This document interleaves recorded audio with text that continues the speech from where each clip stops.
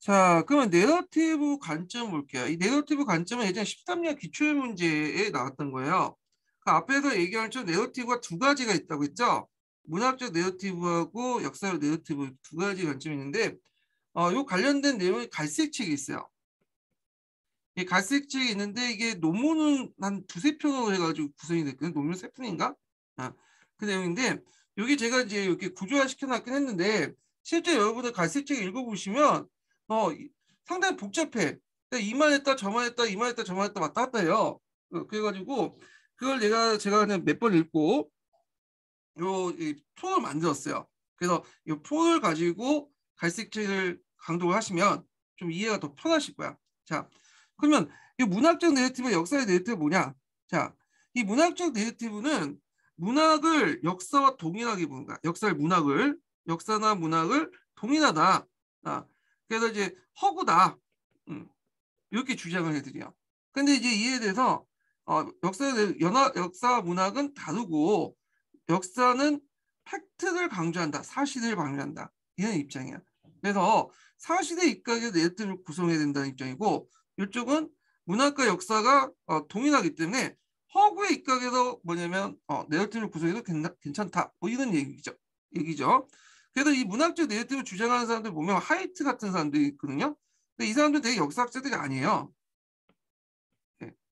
이 사람들 역사학자들이 아니라 대개 보면 이제 그 포스트 모더니즘 입장에서 역사적 narrative가 이렇다고 얘기하는 얘기야. 네. 그리고 이제 역사의 내러티브를 이제 주장하는 사람들은 대부분 역사학자들이야. 네. 이렇게 구분을 해보시고 그래서 갈색책은 이게 두 개로 크게 분류해갖고 서로 치고받는 내용들이 들어가 있는데 제가 이걸 이제 도표로 한번 만들어봤어요. 자, 얘네들의 이제 논쟁점을 이제 보면 여러 가지 볼 수 있는데 첫 번째 구조와 이야기의 관계야. 자, 요 이야기는 뭐냐면 앞에서 제가 잠깐 얘기를 했을 거야. 그 내러티브의 구성 크게 두 가지 방식이 있다고 했죠. 전달 대상의 사건, 이야기. 그러니까 이제 뭐 신화, 전설, 설화, 일화 이런 것들 그 자체예요. 예, 내용 자체고. 그 다음에 어, 전달 방식, 담론은 이야기를 어떤 식으로 어떤 프로세스 맞추기 서 전달할 것인가. 요건데 여기에는 담론 구조라고 볼 수 있죠. 이야기 구조. 자, 그럼 대, 다시 이제 얘기해 보면 자, 요 구조과 이야기 관계 중 문학적 내러티브는 구조를 더 강조해요. 이야기는 그냥 소재에 불과한 거야. 근데 이제 이에 반해서 역사의 내러티브는 이야기를 강조하죠. 이야기 속에서 구조를 이끌어내요. 예. 이야기 안에 있는 속에서 구조를 이끌어내는 구조죠. 자, 그 다음에 역사의 내러티브 구조에 대한 인식을 보면 어, 문학적 내러티브는 역사의 단, 단순하다. 그냥 시작과 끝 이런 식으로 표현하면 된다. 이것이 이것이고 뭐 그 그런 다음에 저것이 나왔다. 이런 식으로 이제 단순히 기술에 불과다. 근데 어, 이에 대해서 이제 역사의 내러티브에서는 역사의 내러티브 어떻게 보냐? 기본적으로 시작과 끝은 음, 또 있지만 그 외에도 시간적 관점의 역사적 사실 인식이 내재되어 있고 메시지를 효과적으로 전달하기 위한 어떤 사건의 병도 있다 이렇게 있고요. 그 다음에 문학적 내러티브에서 이제 내러티브에서 강조하는 역사 사실 구성을 봐요. 역사적 사실은 편집되어 구성된 거다 네, 이렇게 보고 있고 근데 역사의 내러티브는 발견한 거다 네, 이렇게 보시죠. 자, 그 다음 전달하는 방법에서 어, 문학적 내용은 과거 역사적 맥락을 생각한 채 현재인과 저자의 입장에서 역사 사건을 재창조해서 전달하는 과정이고 근데 만약에 역사의 내용은 과거의 역사적 맥락에서 역사적 사건의 의미를 현대인에게 효과적으로 전달하는 데 중점을 있죠. 그리고 이제 어, 문학적 내용은 전달과 사건의 중요성을 비교해 볼때 역사 사건보다 기술 관계 어떻게 기술하는 거야. 근데 이제 상대해 볼 때 역사적 내용은 기술보다 역사 사건의 관계야. 그 사건이 무엇인가? 팩트를 이제 바탕으로 해서 기술하는 거죠. 예. 자, 표상의 의미가 있어요. 여기 표상이라는 말이 많이 나오는데 되게 갈색 책이나 뭐 남색 책 읽어보시면 똑같은 말, 말이라도 상당히 맥락에 따라 다른 의미로 쓰이거든요. 앞에 있는 담론이란 말도 뭐 텍스트론에서는 어떤 이제 권력자가 자신의 의지를 관찰하기 위해서 만든 이야기 이렇게 이제 담론이라고 얘기하거나 또는 어, 어떤 그 프로시나 이런 것들 전달 방식도 담론이라고 하잖아요. 다양한 의미를 쓸 수 있는데 여기 포상의 의미도 좀 달라요. 포상이라는 말은 뭐요? 머릿속에 어떤 특정한 이미지를 떠올리는 것을 포상이라고 해요. 우리가 이제 개라고 이제 언어라는 개, 개 있죠? 개 말을 들 때 그 개의 언어를 딱 들을 때 말을 들을 때 떠오르는 이미지가 있잖아. 이걸 포상이야. 네, 포상. 근데 이제 어, 이 포상에 대한 개념 그 관점이 좀 달라. 음, 여기 문학적 네이티브는 언어를 통해 또 포상, 통한 포상은 실제와 불이치하다. 아, 비유를 통해 재창조에 불과한 거다. 예를 들어 우리가 개라고 부를 때 개라고 하면 개는 이제 머리가 있고 이렇게 발 네 개가 있고 주인이 오면 쫄락쫄락 달려와서 막 꼬이치고 그런 걸 연상시키잖아요. 머리, 머릿속에 포상이. 자, 근데 실제로 개를 보면 꼭 그런 개만 있는 게 아니라 어, 인간에 보면 도망가는 개도 있다. 이렇게 이제 얘기를 하는 거죠. 그래서 현실과 맞지 않다. 아, 이렇게 얘기하는데 반해서 이해서 역사의 네러티브는 단식으로 얘기죠. 언어를 통한 포상은 현실을 완벽하게 표현하지 못했지만 어느 정도 반영된다. 개의 모습을 이제 연상을 할 때 개의 언어를 때 개의 이미지를 어, 머릿속에 떠오르잖아요. 근데 그 이미지 자체가 개의 100% 모습을 다 떠오르는 건 아니죠. 개별적인 개가 또, 또 개마다 다르니까. 어, 그런데 적어도 8, 90% 정도의 개들은 그 행동을 한다는 거야. 주인이 오면 쫄락쫄락 찾아와서 반갑다고 인사를 해주는 게 개의 진정한 모습이죠. 진정한 모습보다는 그런 모습을 보인다는 거죠. 근데 얘네들은 도망가는 개도 많다.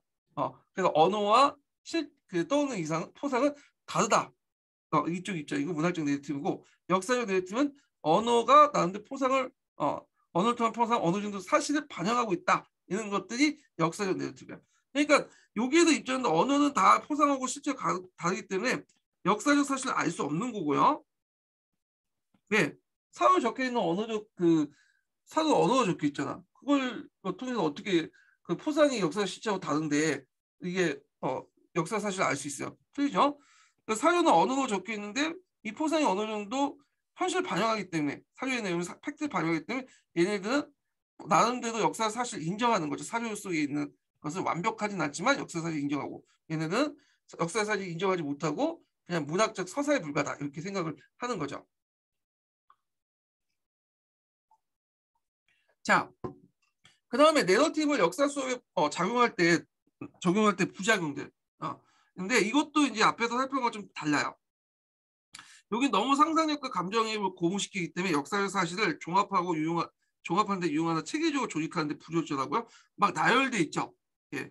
그리고 증거를 통해 어, 권력을 도출 어려움이 있어. 그래서 이, 이런 거 있고 그리고 또 간접임을 매몰할 경우에는 여러 가지 문제점이 있잖아요. 그래서 그것을 이제 부작용을 해소하기 위해서 낯설게 하기를 제안하는 거죠. 근데 여기는 너무 이제 연대기 없이 간접임을 부족 어, 제거하고 어 너무 이제 역사 상상 상상 제거하고 문미경제 학습 적용해서 비판을 하잖아요. 예. 그래서 역사적 네러티브하고 문학적 네러티브에 좀 차이점이 있다. 너무 과도하게 상상과 감정입을 고무시켜갖고 어, 뭐 체계적으로 조직하지 못하고 팩트보다는 문학적 상상력을 발휘하는 데 있고 허구만 강조하고 이에 반해서 이제 이쪽 역사의 네러티브는 너무 그걸 제거했기 때문에 무미건조 역사학습 전용이다 해서 어, 똑같은 네러티브지만 이렇게 이제 각자의 입장에서 어, 뭐냐 비판을 하는 거죠. 예, 다른 쪽의 입장에서. 자, 그래서 제가 이제 이렇게 해서 문학적 네러티브하고 역사의 네러티브를 정리를 좀 해봤어요. 저도 정리를 했고. 자, 그러면 이제 구체적 내용을 볼게요. 먼저 살펴볼 게 문학적 네러티브죠. 문학적 네러티브는 문학이 역사다. 그렇기 때문에 역사는 구성됐다. 소설이다. 이렇게 주장을 한 얘들이야. 대표적인 사람이 화이트 같은 사람들이 주장을 한 거죠. 자, 문학적 네러티브 내용 보면 내용의 사회적 맥락보다는 구성 형식을 강조하는 데 강조 있어요. 네. 그래서 화이트 같은 사람 있죠. 구성 형식. 이걸 이제 플롯이라고 하죠. 그, 음. 그러니까 어, 사실을 자기 어떤 프로세 맞춰서 뭐냐면 기승전결에 맞춰서 제시하는 데 있죠. 우리 식으로 따면 악마의 편집을 한다고 할까요? 악마의 편집? 그래서 하여튼 이렇게 있는데 그래서 이제 이건 사실 하나의 소재에 불과하고 실제로 허구다. 허구를 어 그 작가의 어떤 프로세에 의해서 만드는 게 불가다. 역사 네이티브 역사의 narrative라는 것이 그래서 개별적인 사건을 하나의 외부적인 플롯에 묶어서 역사의 narrative를 제시하는데 이때 역사 narrative는 역사 네이티브 요거 의미한 게 아니라 역사 이런 식으로 문학적으로 제시한다는 뜻이에요. 그래서 사건 자체가 아니라 그 사건이 어떻게 기술하는지 관심 있다. 문학성을 강, 조하고 구성을 중시하고 화이트 이론과 연결되죠. 자, 그러면 이제 그 예를 들게요. 우리가 동명신화라는 신화가 있죠. 어, 근데 이 문학적 내러티브는 동명선화 신화 자체가 중요한 게 아니야. 그걸 가지고 있는 푸릇이죠. 그 푸릇은 저자의 어떤 생각이 나온 거고 그리고 현대인의 어떤 욕구에서 나온 거죠. 그래서 내용을 보면 동문성화나 신화를 다룰 때 동명성화의 신화 그 자체가 가지고 있는 역사적 의미보다는 동명성화과 유리왕의 극적인 만남, 동명성화과 금왕 아들 간의 대립구조와 부의 탈출 과정에서 박진감 선수 등 작가나 현대인이 원하는 이야기 구조, 외부로부터 주어진 문학적 형식의 틀에 초점 맞춰 내러티브를 서술하죠. 그러다 보니까 이제 어, 이야기는 구조, 프로스를 막, 그 형사한테 하는 소재에 불과한 거지 이야기 자체, 역사 사실 자체가 중요한 게 아니다. 예, 동명성황 자체가 중요한 게 아니라 동명성황을 그걸 기술해서 표현하는 방법이 어, 중요하다. 프로스 중요하다. 이런 것들이죠. 그래서 이제 이렇게 있고 그 내러티브 내용은 대상이 되는 이야기며 이야기는 내러티브 단인데 단순히 시작 끝 연결 줄거리에 불과하다. 아, 그 외에서 뭐 의미가 있고 이런 것들이 없다는 거죠. 맥락 같은 게 없고 그냥 이것은 이것이다 저것은 저것이다 이것밖에 안 된다는 거예요. 이거 시작과 끝에 불과하고 이것은 일어났다 그것은 다음에 사건이 일어났다. 단순한 기술의 대상에 불과한다는 거야. 예. 그래서 이제 이야기는 내러티브 단순한 소재에 불과하고 시작 끝 연결 줄거리 항상 소재에 불과하다. 이렇게 좀 기억을 해주시고요. 자, 이에 반해서 역사의 내러티브는 좀 다르죠. 자, 구성 방식을 중요해. 프로스 방식을 강조한 내러티브 이론을 비판하고요. 이야기 자체를 강조해요. 그래서 이걸 강조해서 내러티브의 독자성을 강조하죠. 이야기 자체가 신화, 전설, 설화, 이다, 위인의 일대기를 강조해요. 그러니까 악마의 편집을 하지 않고 그냥 그 생으로 어, 편집 이전의 것을 되게 강조하는 거죠. 예. 그래서 그 이야기 안에 구조가 표현돼 있다. 그러니까 구조 속의 이야기를 소재로 삼는 게 아니라 어, 이야기 안에 구조를 뭐냐면 어, 뽑아내는 거죠. 그러니까 내러티브의 구조는 이야기 구조 위에서 정해지며 구성보다는 발견을 강조한다. 포스를 위해서 만들어진 게 아니라 역사적 사실 팩트가 중요하다. 그래서 구성을 강조하는 이 구성은 이제 발명하고 비슷하다 보시면 돼요. 구성을 강조한 하이트 이론을 간절히 비판했다. 그러면 이제 그 내용을 이제 한번 볼게요. 똑같은 동명성을 강조해도 역사의 내용들은 달라요. 보면 동명상 신화를 할때 작가는 현대인이 원하는 이야기 구조 안에서 다루지 않고 앞에서 이제 이야기 구조는 요거죠. 어, 동명상과 유리하게 극적인 만남이라든지 근황의 아들 대구조 이거는 그 당시에 뭐 그렇게 중요하지 않았는데 현대인들이 그 강조 그 관심이 가져서 그게 다른 거죠.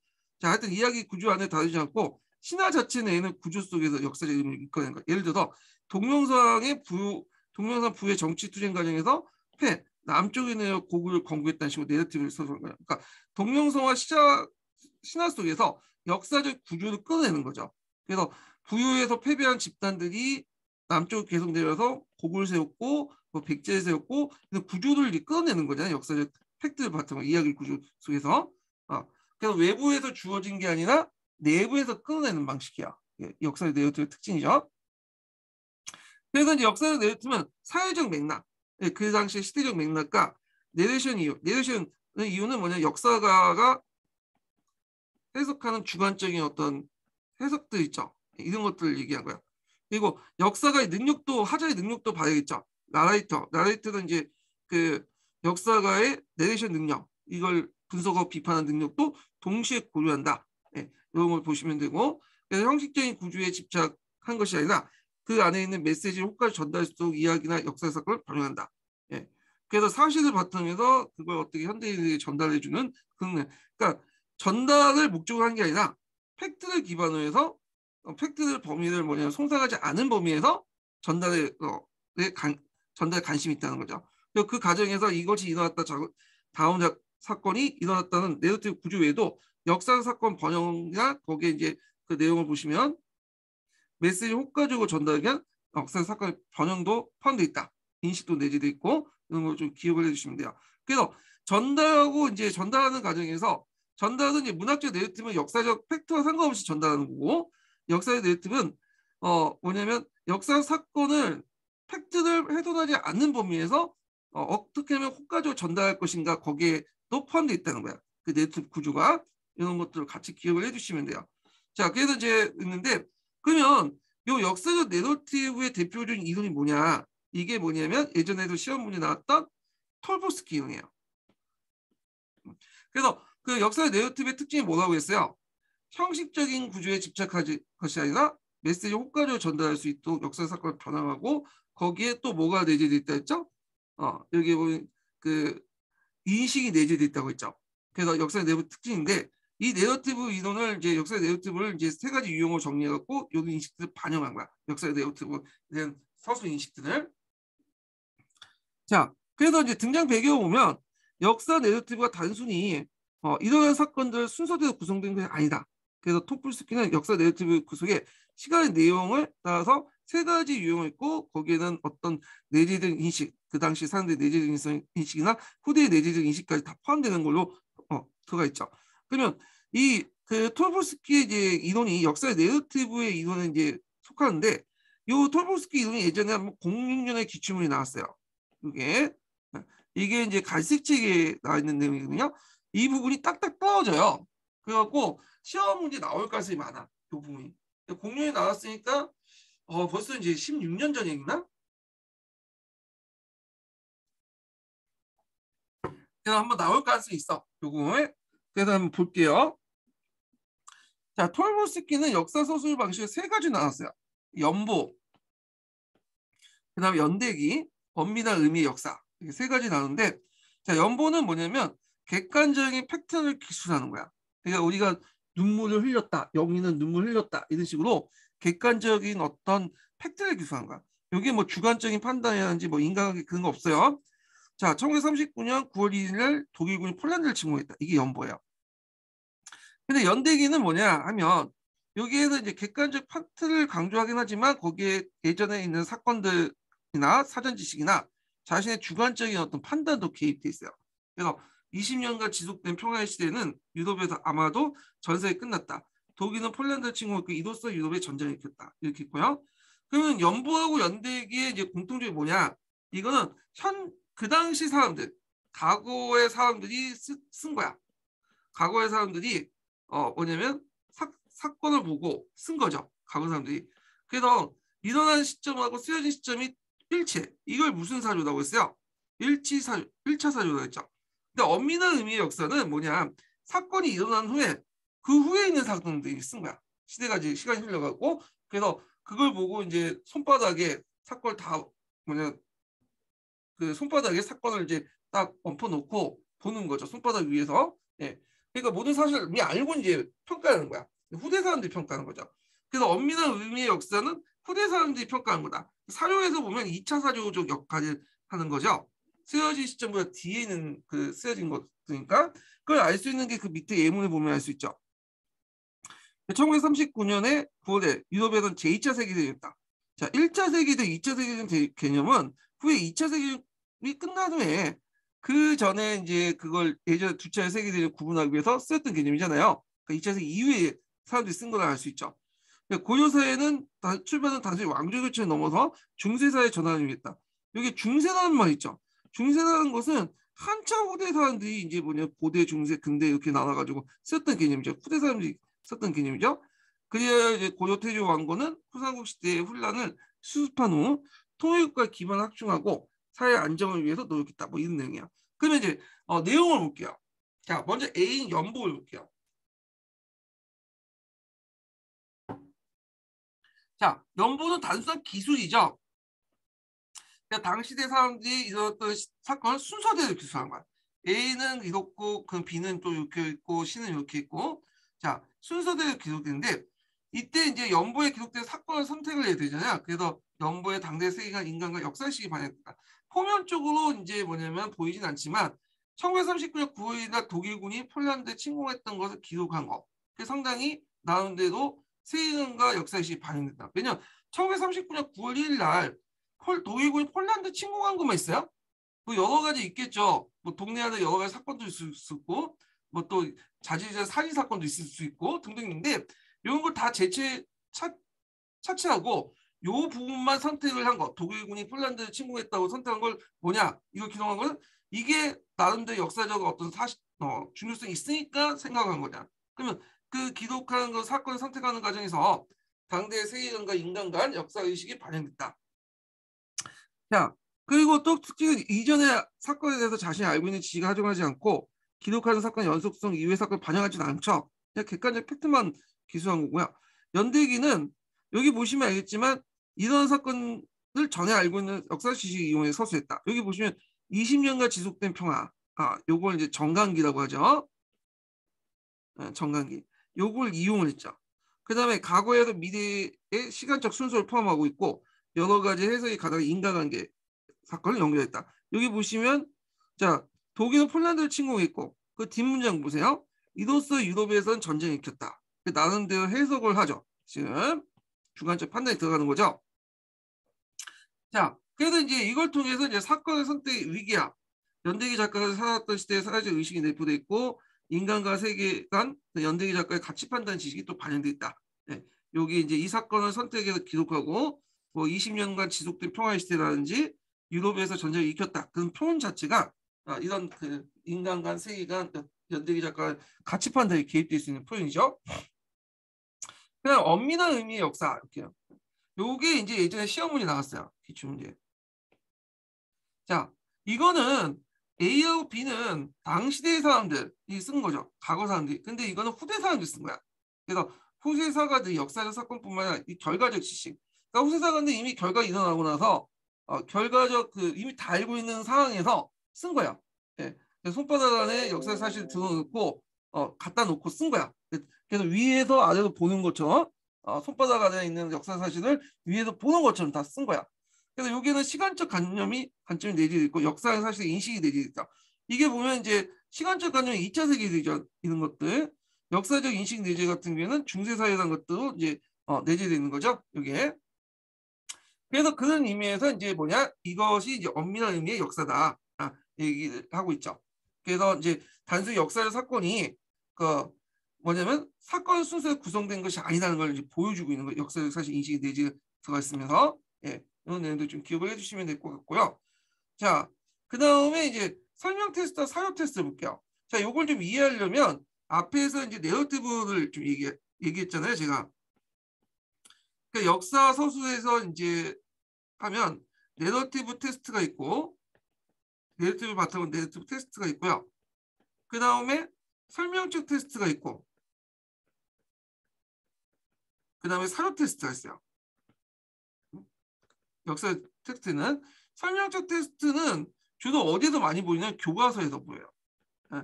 전지적 작가 시점을 해서 객관적으로 마치 쓴 것처럼 됐죠. 예. 자, 그래서 이제 있는데 자, 사료 텍스트는 여러분들 이제 읽고 있는 삼국사나 삼국유사 이런 것들 얘기하는 거죠. 자, 이것이 예전에 공군역 기출 문제 나왔어요. 그래서 네러티브 설명 텍스트, 설명 텍스트, 그 다음에 사료 텍스트를 서로 비교하는 문제가 나왔거든요. 예. 자, 요 내용은 어디에 있냐면 갈색 책이 있어요. 갈색 책 펴보시면 갈색 책그 관련된 내용이 있고 그 다음에 관련 사료도 있어요. 예. 그래서 한번 시간 되실 때 읽어보세요. 근데 제가 이제 주관식 시험에서는 약간 나오기가 좀 힘들어. 그걸 설명하면 뭐 객관식은 딱딱해 갖고 여러 가지 설명을 마, 문제를 만들 수 있는데 저도 그 요걸 문제를 만들려고 하니까 어, 텍스트의 종류를 문제 만들니까 좀 힘들더라고. 이게 딱딱 떨어지는 부분들이 아니기 때문에 예민한 부분들이 많기 때문에 좀 힘들긴 힘들어요. 이거 문제 내기가 주관식 안에서는. 그럼 여기에 설명, 어, 들어가기 전에 이제 한번 정리 좀 해볼게요. 앞에 역사 텍스트 세 가지가 있다고 했죠. 네더티브 텍스트, 그 다음에 사료, 어, 설명적 테스트, 사료 테스트 이렇게 이제 있는데 제일 객관적인 것처럼 보이는 것이 뭘까요? 객관적인 것처럼. 이게 객관적이라는 것은 객관 꼭 이게 팩트가 아니라 남들이 볼 때, 제3자가 볼 때는 객관적으로 이제 보이는 것들은 뭐냐? 설명적 테스트겠죠. 그 다음에 뭐냐면 두 번째가 사유 테스트고 세 번째가 네러티브 테스트예요. 마지막으로. 네러티브 테스트는 자신의 존재를 내세웠기 때문에 주관적인 포인트이 많죠. 객관적이 못하다고 했죠. 예. 두 번째는 뭐냐? 자, 사람들 반응을 일으킬 수 있는 거. 어. 그래서 이걸 하면 제일 많은 네러티브 테스트죠. 자신, 자신을 나타나기 때문에 1인칭 시점 많이 사용하기 때문에 그렇죠. 그 다음에 사료 텍스트고 그 다음에 설명적 텍스트야. 설명적 텍스트는 마치 자기가 시점 전지적 작가 시점하고 권위를 내줬기 때문에 사람들이 이걸 보면 그냥 어, 사실처럼 여기기 때문에 반응을 이끌어낼 수 없어요. 예, 이것들 좀 기억을 해주시고 사료 텍스트는 여기 이제 중간에 딱 있잖아요. 두 요소가 있어. 어, 설명 테스트와 네거티브 테스트가 두 가지 요소가 있지만 거기 갈색책 읽어보시면 알겠지만 좀 어디에 더 가깝냐면 어, 네거티브 테스트에 좀 가까워요. 예? 따로 이제 별개로 설명하고 있지만 약간 가까워. 이 네거티브 쪽에 이쪽에 가깝다. 예. 자, 그러면 이제 한번 읽어볼게요. 볼게요. 앞에 이제 그 narrative는 앞에 언급했잖아요. 그래서 여기에서 언급한 건 사료 텍스트하고 그 설명 텍스트만 좀 얘기해 볼게요. 자, 설명 테스트는 저자의 견해나 정보를 제공해 주는 거야. 그래서 이제 설명문, 논술문, 역사교과서 같은 데 많이 쓰였던 그 테스트죠. 이것도 점을 찍어요. 예, 예. 전지적 작가 시점이다. 그래서 저자의 단점을 드러내지 않고 역사 사실 객관적인 것처럼 서술한다. 어, 그렇다고 실제로 객관적은 아니에요. 그렇게 이제 보인다는 것 뿐이에요. 그러니까 역사 사건의 다양한 해석이 안 된다는 거죠. 그리고 주도 설명적 테스트는 집단 교육을 지향, 역사 교육을 지향한다는 거예요. 자, 이건 뭐냐면 그 역사 교과서 연결돼 있어요. 모든 역사 교과서는 그 나라의 어떤 집단 기억을 효율적으로 가르친 데 있잖아요. 그러다 보니까 어, 이렇게 설명적 테스트를 가지고 이제 역사를 서술하죠. 마치 객관적인 처럼 보여서 어 뭐냐면 그 학생들 객관적인 처럼 보여가지고 어 국가가 요구하는 집단 기억을 심어주기 위한 거죠. 어떤 역사를 지향할 것인가 국가와 진보를 강조하고 어 그 다음 독자에게 정체성, 일지감, 도덕적 책임, 그 유사우스 역사를 강조한다. 저자의 권위가 진리의 가능성이 되게 높도록 인식하는 거죠. 자, 그래서 이제 있고 이런 이제 설명적 테스트는 비판적 읽기 쓰기에 도움이 되지 못하고요. 역사 사실을 고정된 관점을 가지게 되면서 비판적 사고를 저해야 되는 거죠. 그래서 이렇게 이제 그런 어, 설명 테스트의 문제점을 개선하기 위해서는 상반된 해석을 제시해서 학생들의 다양한 해석을 유도하고 그리고 인식 방법 역사 경험을 한다. 인식 방법 역사 경험은 뭐냐면 지, 어, 교과서에 있는 지식의 내용만 달달내는 게 아니라 이 지식의 내용이 어떻게 만들어지는가 구성되어지는가 이런 걸 인식해 주는 거야. 아, 그래서 이제 이걸 통해서 하는 건데 앞에서 얘기한 뭐 역사학이라는 개념하고 좀 비슷한 내용이라고 보시면 될 것 같아요. 그리고 이거 외에도 이건 좀 부정적인 내용만 적혀 있는데 예전에 한번 기출 나온 것들 보면 어, 설명 테스트에 좀 장, 장점도 있어요. 체계적으로 지식을 전달해 준다는 거죠. 이건 그 갈색책은 없지만 어, 예전에 기출 예문으로 나왔던 거기 때문에 좀 기억을 해두세요. 체계적인 지식이 가능하다. 아, 근데 네러티브 테스트 어, 사실만 나열될 뿐이지 체계화시키지 못하죠.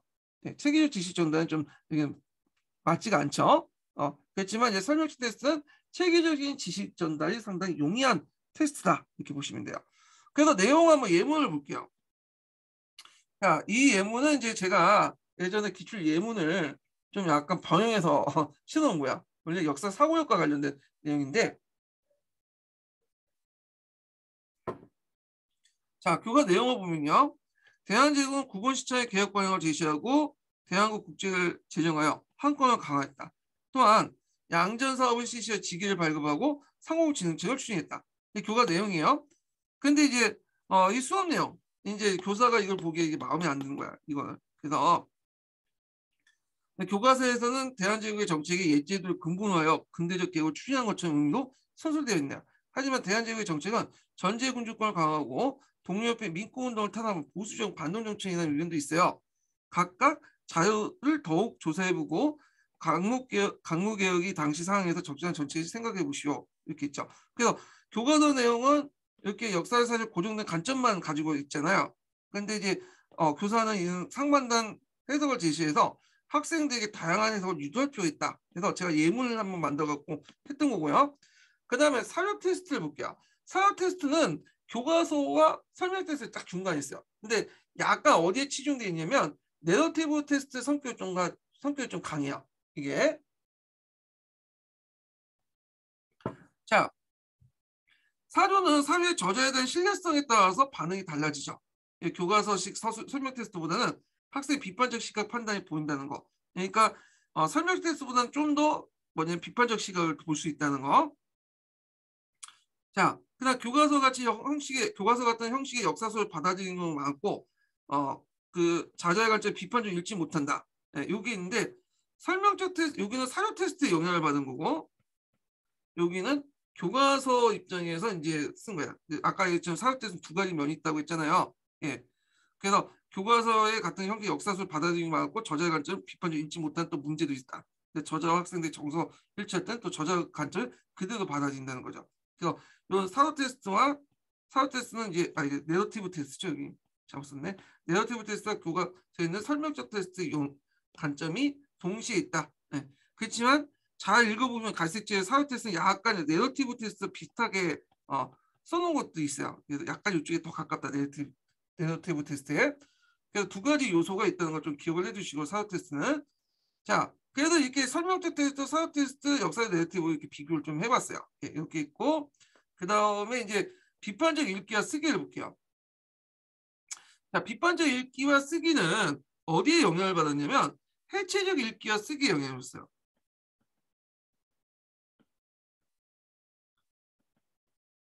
이게 텍스트론에서 나온 거잖아요. 음. 그래서 이제 요거에 영향을 받는 게 비판적 읽기와 쓰기죠. 예.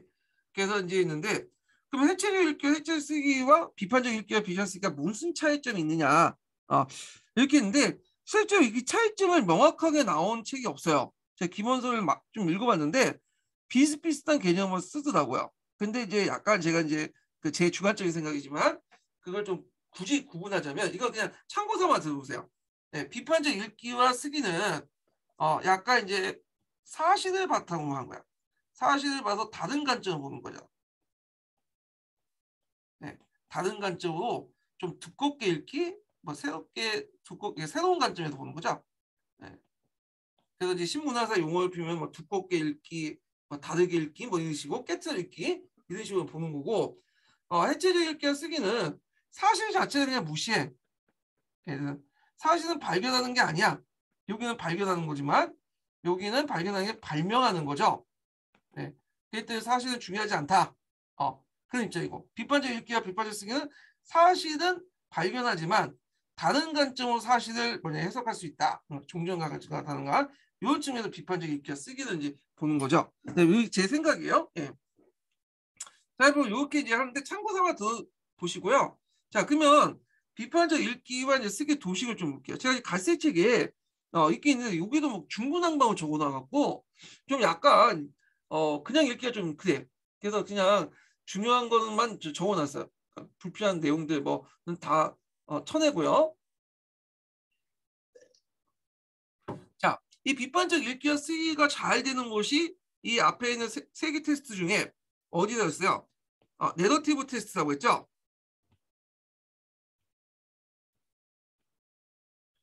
네러티브 테스트를 기준으로 얘기해 볼게요. 자, narrative, narrative, narrative 텍스트는 1인칭을 잘 드러내잖아요. 주관적 반응을 하니까 독자로부터 다양한 반응을 읽게 돼요. 반응을 불러일으키죠. 그러면서 이제 나눈대로 비판적 읽기를 하게 돼요.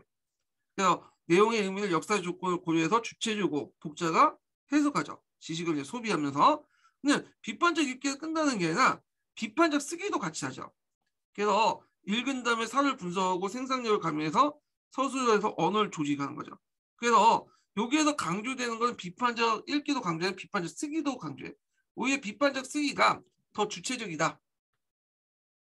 그래서 이제 어, 비판적 읽기만 하고 비판적 쓰기만 쓰기는 안 하는 건 어, 안 하는 거는 좀 불안전하다. 어, 그래서 이제 어, 단순히 생산성 없는 소비에만 축소될 수 있다. 여기 있죠. 쓰기만 빼고 읽기만 하는 거, 비판적 읽기만 하는 거는 세, 단순한 생산 없는 소비, 소비다. 어. 그래서 지식 소비에 불과한 거예요. 그래서 자기 나름대로 주체적 견해를 갖고 확보하기 위해서는 모두의 비판적 읽기도 해야 되지만 비판적 쓰기도 해야 된다. 이게 서로 연결돼야지 완전 완벽한 뭐냐면 주체적인 어떤 서, 그 서술이 나온다. 이렇게 얘기를 하고 있어요. 예. 자, 하여튼 이런 이제 과정을 통해서 역사적 해석이 고정된 것이 아니라 저제 한 견해는 사실 인식하게 되고 학생들은 학생들은 새로운 지식의 생성 경험을 알게 된다. 네. 자, 그러면 이제 내용을 이제 보죠. 비판적 읽기부터 볼게요. 비판적 읽기를 한 다음에 그그 다음에 이걸 봤던 비판적 쓰기 단계로 넘어가는 거죠. 자, 비판적 읽기는 역사가의 주관성을 인정함으로써 독자들이 역사 서술, 어, 저술을 비판하는 쪽으로 읽는데 도움이 된다.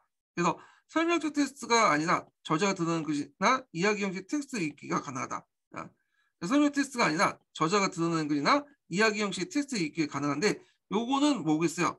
요거는 불가능하고 주로 이제 어디에 이런 건 어, 네거티브 테스트에 가능하다는 거예요. 주로 네거티브 테스트. 네, 주체적인 독자에 의한 해석적 특이나 창조적인 어떤 자율성을 중시 여기고요. 비판적 읽기 절차 없이 역사적 사실에 대한 인식은 결국 지식이 될 수 없다. 교과서에 비롯한 모든 역사서는 비판적 읽기를 통해 의미 있는 지식을 창출해도 연결될 수 있어야 되고 텍스트 자체가 내지는 의미뿐만 아니라 텍스트가 생산한 특정한 역사 조건도 함께 읽어야 된다는 거. 예. 그래서 이제 어, 그 당시 사회적 배경이나 이런 것도 같이 읽어야 된다는 거죠. 자, 점차 생산적 텍스트 읽기가 가능할 때 그 다음 단계 이제 쓰기로 넘어가. 쓰기보다 또 그걸 통해 그 생산물을 드러낼 수 있다. 그래서 비판적 역사 읽기는 궁극적으로 다양한 형식의 생산, 상상력을 의존한 창조적 글쓰기의 구현의 의미다. 이렇게 보시면 될 것 같아요. 근데 이게 주의할 건 창조라고 하는 거는 어, 요거는 없는 사실을 만들어내는 게 아니에요. 역사적 조건을 바탕으로 주체적 해석을 하는 거지. 음. 그래서 예를 들어서 콜럼버스가 어, 그 뭐냐면 신대륙을 발견했다. 근데 콜럼버스 입장에서 발견이죠. 근데 어 주체적 입장에서 볼 때는 이제 뭐냐면 원주민들 입장에 끌어다가 보니까 발견 아니야. 심리학이죠. 네. 요걸 바탕으로 한 거죠. 요걸 바탕으로 글쓰기 하면 이게 창조적 글쓰기가 되는 거죠. 네. 없는 사실 만드는 게 아니라 있는 팩트를 바탕으로 새로운 시각으로 다시 기술하는 거야. 다른 관점을 통해서. 예. 그래서 발견이나 의미도 단순히 팩트만 발견하는 게 아니라 그 팩트 속에 있는 어, 다양한 관점도 발견하는 것까지 포함되는 거예요. 예. 자, 그냥 비판적 쓰기를 보죠. 자, 앞에서 이 비판적 읽기를 이제 바탕으로 이제 그 다음에 비판적 쓰기를 넘어가는데 비판적 쓰기는 그 뭐냐면 어, 텍스트의 복수적 의미를 이제 신하는 거다. 텍스트 복수 되게 어렵게 썼는데 자기가 스스로 글쓰기 하면서 주체적 글을 쓰면서 텍스트에 저자와 다른 다른 관점을 부여하면서 글을 쓰는 거죠. 그래서 콜럼버스의 이제 신대륙을 어, 를 발견하는 게 아니라 뭐 침략했다. 그 침략의 과정들 쭉 서술하거나 이런 것들. 자, 그래서 이제 이것을 통해서 자신의 삶을 무대화시켜서 저자의 권위를 도전했다. 뭐 이렇게 있죠. 그래서 자신의 역사 인식의 표현뿐만 아니라 다른 사람들의 의식을 통해서 해석되어 다른 역사 지식의 생성과 생성과 확산시키는 큰 역할을 한다. 아, 그래서 이제 이렇게 있고 그래서 어, 자신의 역사 인식뿐만 아니라 다른 사람들의 의식을 통해 해석돼요. 예. 다 이게 무슨 말이냐? 자, A라는 얘가 이제 어, 아니 잠깐만 역사 교과서가 있어요. 아 역사 역사 내러티브 있어요. 역사 내러티브 보고 A라는 사람이 어 그 새롭게 이제 B A를 이렇게 해석 A라는 사람이 다른 식으로 해석을 했단 말이에요. 네. 그래서 이렇게 서술돼 있어. 그러면 이걸 다른 해석을 보고 신하는 사람이 이걸 보고 다시 이제 자기 나름대로 뭐냐면 서술하죠. 그리고 나서 이제 또 D라는 사람이 이걸 보고 또 다른 식으로 서술하고 이게 이제 텍스트에서 언어의 전환인데 그래서 이런 과정에서 다른 역사 지식의 생성과 확산에 크게 기여한다. 이렇게 보시면 될 것 같아요. 단순히 자기뿐만 아니라 자기 글을 보고 나서 이렇게 이제 그 뒤에 있는 사람들이 그걸 보고 또 어, 나름대로 생각해갖고 글 쓰고 그 새로운 지식을 만들어지고 그 다음에 또 만들어지고 글쓰기가 중요하다는 거예요. 단순히 말이, 말, 말이 중요한 게 아니라 글을 내야 돼. 말이라는 건 시발성이 좀 강하잖아요. 예, 근데 글을 쓰면 영구히 남잖아요. 영구히. 예. 근데 요즘에는 뭐 동영상 많이 편집하고 유튜브에 올리고 그런 식으로 하기 때문에 좀 약간 어, 어 요거는 좀 어, 시발성이 강하다는 좀 그런데 하여튼 어, 글쓰기보다는 좀 약간 많이 나는 것이 좀 약간 그때그때마다 좀 어, 빨리빨리 소비용이잖아요. 글쓰기 같은 경우에는 이런 식으로 글 써놓으면 후대 사람들이 영구히 그 뭐냐면 해석하고 재창출, 재해석하는 과정에서 지식이 확대될 수 있다는 거죠. 새로운 관점이 만들어지고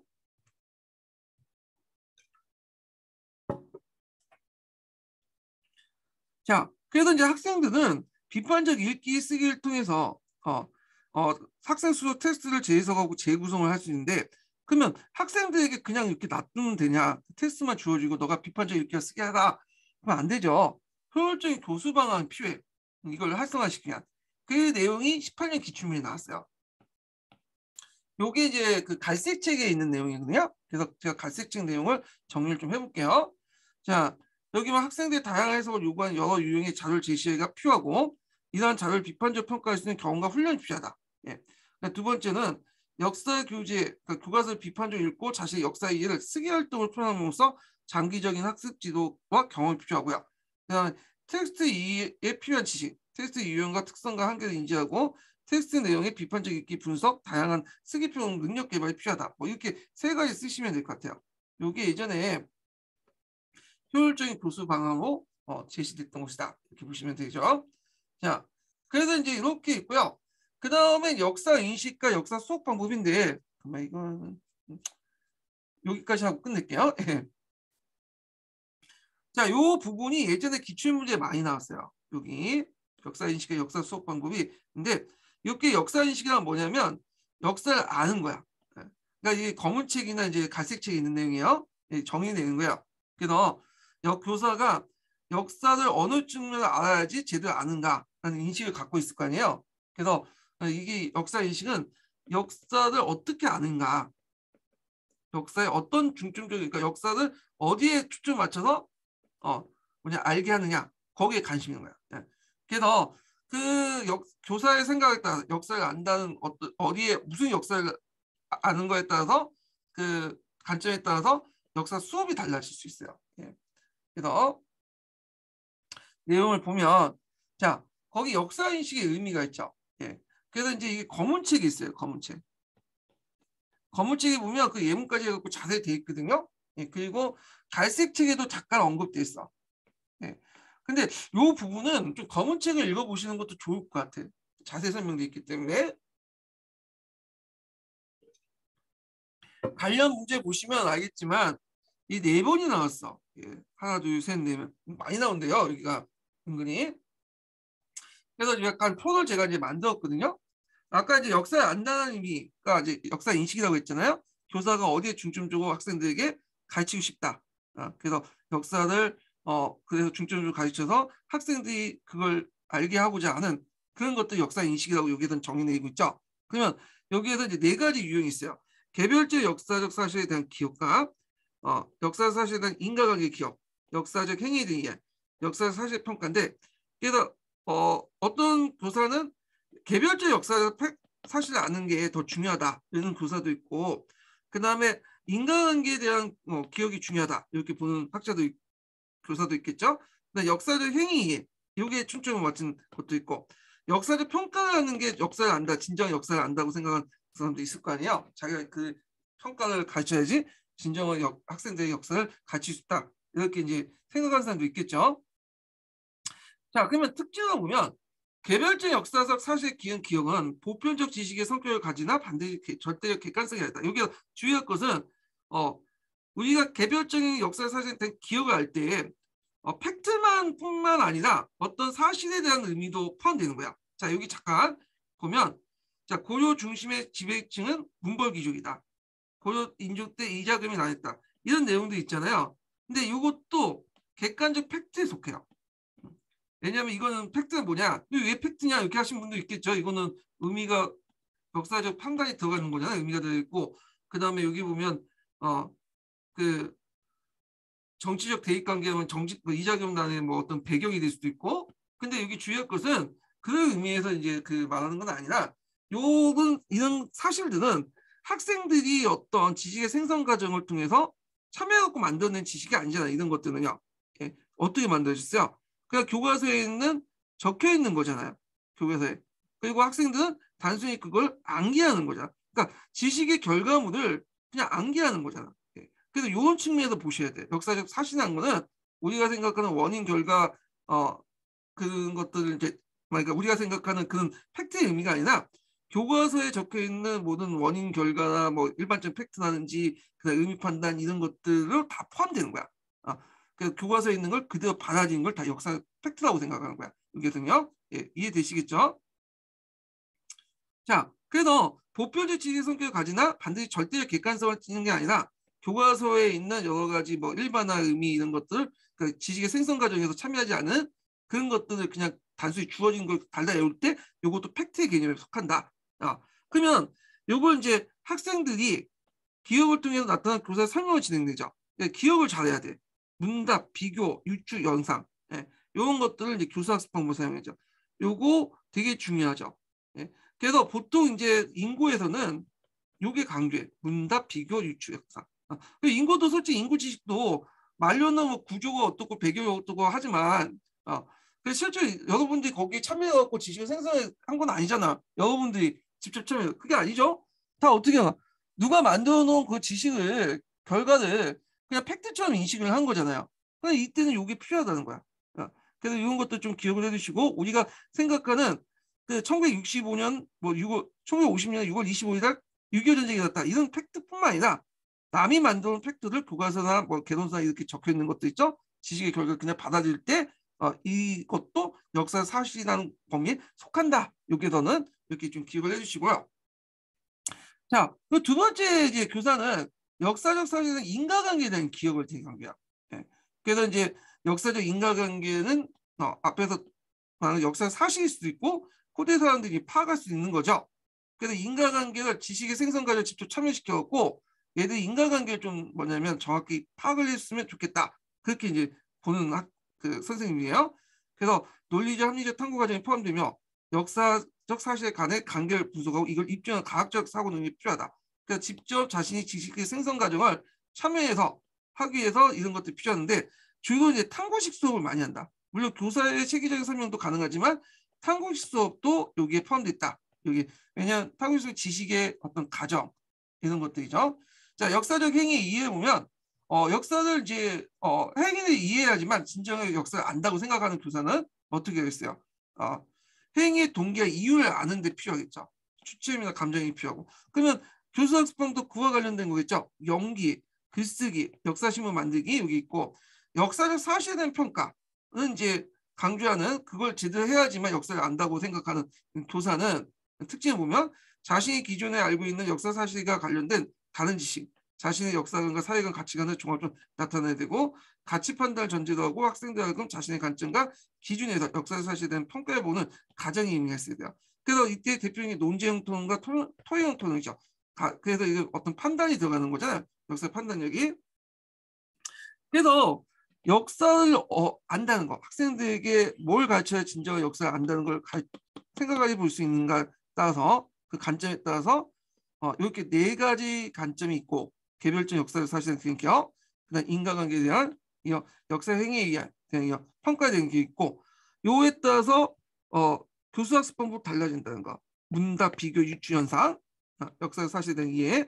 그 다음에 어, 인간관계 이해는 어, 탐구수업, 음, 교사의 설명을 고주적으로 할 수 있고, 그다음 역사 행위 이해, 연기, 글쓰기, 뭐 역사신문 만들기, 뭐 추천 같은 것들이죠. 그다음 역사적 사실에 대한 평가, 논쟁 통 논쟁형 토론이나 토의형 토론도 했을 때 통합습이 적합하다 이렇게 보시면 돼요. 예. 그래서 요 두 간의 관계에 예전에 기출에 나왔으니까 꼭 기억을 해주시고 자세한 내용은 제가 여기다 적어놨는데 뭐 똑같은 내용이에요. 예. 요거 이런 것들 네 가지 유형을 나눴죠. 제가 그래서 그 밑에 제가 이제 검은책 내용도 좀 적어놨어요. 예. 검은 책 안 읽는 분도 계시니까 예. 그래서 이제 검은 책은 요 부분만 좀 찾아서 읽어보세요. 요 부분은 검은 책에서 좀 찾아서 읽어보세요. 예. 자, 그래서 이제 이렇게 해서 이제 역사를 안다. 역사 인식과 역사 수업의 관계에 관련된 내용들 정리를 해봤고 다음 시간에는 역사 교사 인지의 특성과 역사 교육과 갈색책에 있는 내용이죠. 예, 요 관련된 내용을 또 진행을 해보겠습니다. 예, 오늘 수고하셨고요. 예, 그 다음 주 다음 시간에 뵙겠습니다.